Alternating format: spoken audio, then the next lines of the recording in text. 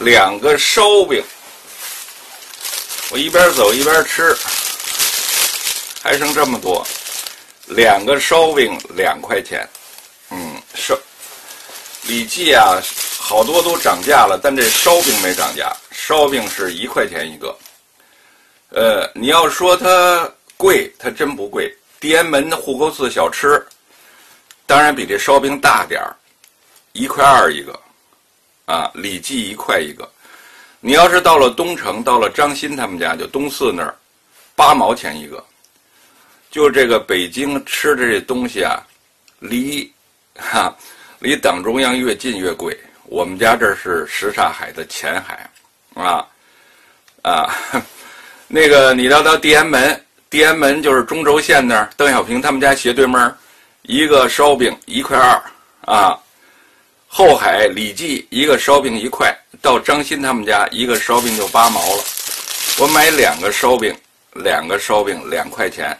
我闺女给她买只鸡爪子，你知道多少钱？一个鸡爪子四块二。我闺女一顿饭一个鸡爪子不够，嗯，一个鸡爪子还还得吃一个烧饼。我俩烧饼吃到现在了，嗯。我把我闺女，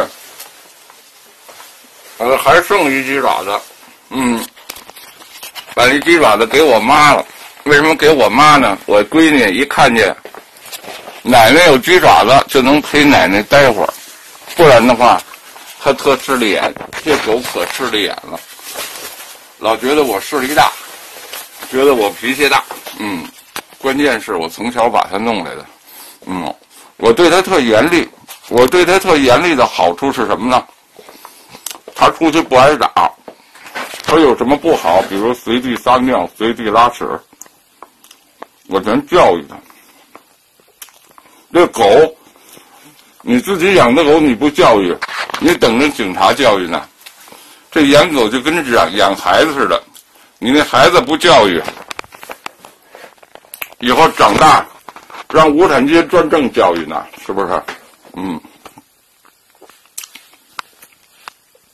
这两天有点冷，我下回出去在那件 G 八雨衣之间应该穿个背心。你说穿这背心好吧？嗯，联合国的，联合国世界粮食组织深挖洞，广积粮。不称霸，那称霸打咱们，惹不起人家。开始想称霸来着，后来赶紧向全世界宣布：真挖洞，广积粮，不称霸。啊，我说普京呢啊，我说的是俄罗斯，我说的是苏联老大哥。嗯，今天晚上省钱，嗯，花了四块二，两块，两块。四块花了六块二，嗯，到我妈那儿碰了俩煮鸡蛋，嗯，这鸡蛋呢，这个鸡蛋是金姐姐的鸡蛋，嗯，这个鸡蛋是大兴安岭那个基督教姐姐的鸡蛋，这个鸡蛋是这鸡蛋的价钱的三倍。因为这个鸡说是吃松子儿，在大兴安岭里边的，一到冬天这个鸡蛋就不好买了。为什么呢？冬天鸡下蛋少，而不像这个这养鸡场里的不鸡不鸡下呗。嗯嗯，这鸡蛋都有区别。嗯，不买不知道。嗯，那女的就是会买东西，我买吃的东西都听我那几个姐姐的，有的姐姐擅长买水果。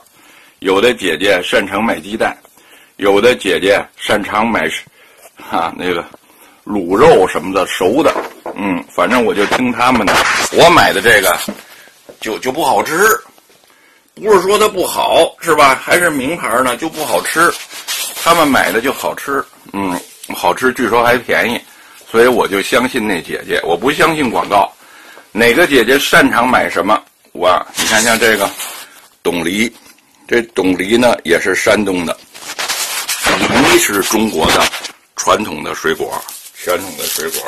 这冻梨，嗯，这是环保的，因为山东烟台啊，啊，半岛，你看日本水果也好，为什么得半岛？你看这包装，这玩意儿在河河北省，我种苹果那地儿，一个一毛七，这俩就三毛四了，嗯，而且这比苹果大呀，这大梨，里边还包一层棉纸，这纸我可以捡狗屎，到时候，你看这大梨，啊，七棱八翘的这大梨，嗯。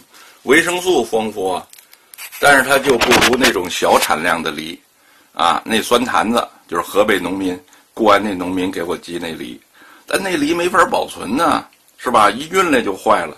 你看这个，啊，叫董梨，各地都有许多高招。这两天呢，我说我小米儿，我煮小米粥，小米不行了，嗯，运得老汉像金。像黄金一样，小米儿流进了运德老汉的口袋里喽。运德老汉一抖，你看我这小米还剩这么点儿了，还够吃一顿的。嗯，一顿，我老是现煮现吃啊。然后呢，马上就有一个姐姐，一个兄弟哈啊，给我快递小米儿。明天这会儿小米儿就应该到了。嗯，明天就是小米儿就到了。